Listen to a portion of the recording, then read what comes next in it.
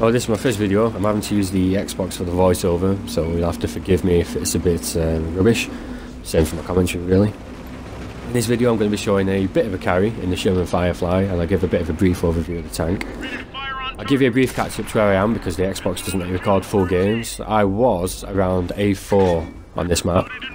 Over the flank collapsed, and um, basically I got out of there. It's never worth trying to hold a flank alone. All that happens is you die. This tank, thankfully, is fast enough for you to do that, providing you notice when things are going south a little bit early. It's got a speed limit of about 35 kilometers per hour, so whilst you're not, you know, stuck to one route like you would be in a T95, you can't relocate like a lot of medium tanks can. So you really need to kind of preempt what's going to be happening. At this point, I've turned around and um, come to join my teammates facing these reds here, so hopefully we can focus fire them. I am aware that the Reds behind me are going to push up, so I, I um, try driving around this rock here so that they can't shoot me in the back, basically. It's always worth remembering that just because Reds might vanish from a map, it doesn't mean they're not there, you know, they're still coming for you. So you've always got to bear that in mind. Um, big aspect of situational awareness that, you know, there's always more than what's just in front of you. With that in mind, I've driven forwards here. Whilst this has left me exposed, I don't want any of those tanks hitting me in the back because I know they've got a KV-1S and he could really mess me up, as could the T150 if he's got a derp gun. I took some hits there. As you can see, the armor on this um, tank is not really worth anything. You know, if things hit you, you know, they're going to pen unless you get a freak bounce. The DPM though is good. I was able to obviously just DPM that medium tank out. I have got myself stuck here like an idiot.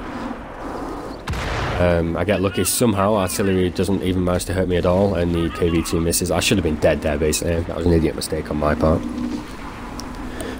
Again, um, coming back to situational awareness, I was ready for these guys to come round and now I'm able to ambush this guy while he's preoccupied with artillery. Thankfully, he doesn't manage to kill the artillery and turns after me. Our artillery had a really good game, doing about 2.5k in his um, M41. And he really helped carry this game as well. He had a really good game, so I'm thankful he stayed alive. At this point, I'm having to try and use the terrain here so that the enemy have to overextend to get to me.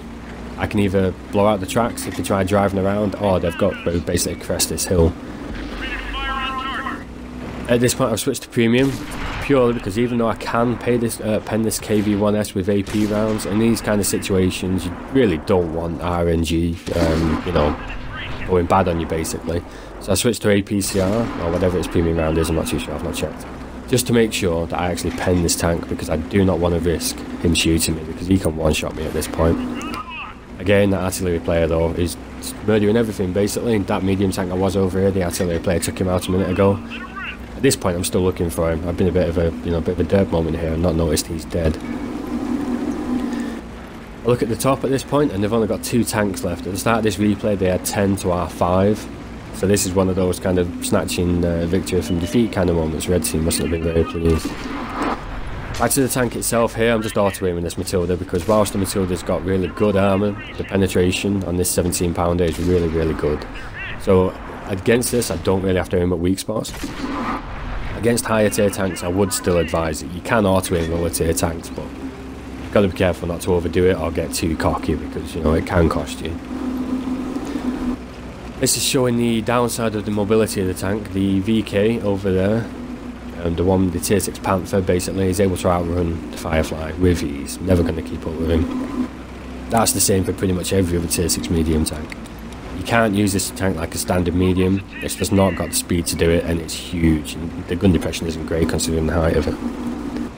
What this tank does is support, basically. It's got really high penetration, good accuracy, great rate of fire, basically want other tanks to be taking the hits for you. I know it might sound a little bit selfish, but that's what support tanks do. Let other tanks be taking the hits, ideally heavies, who can, you know, hopefully bounce, and you use your DPM and your gun to just tear up everything they're engaging, basically. And if you do that, this tank is pretty good. It plays a bit like the old Tiger, basically. You know, you want to engage distracted enemies, enemies who can't hit you because your accuracy is better and you keep them at range. Um, if you do that, you should be fine. I hope this video's not been too bad, giving you a brief overview of what the tank can do. Thanks for watching.